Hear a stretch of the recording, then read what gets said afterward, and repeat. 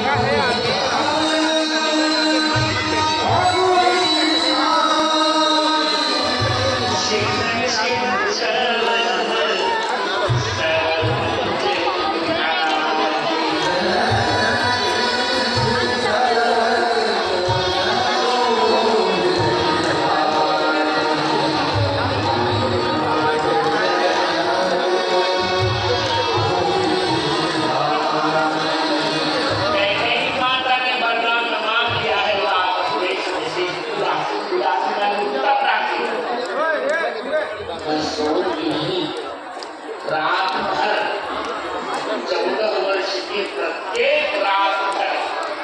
Pepe. Anche c'è chi si racconta con me in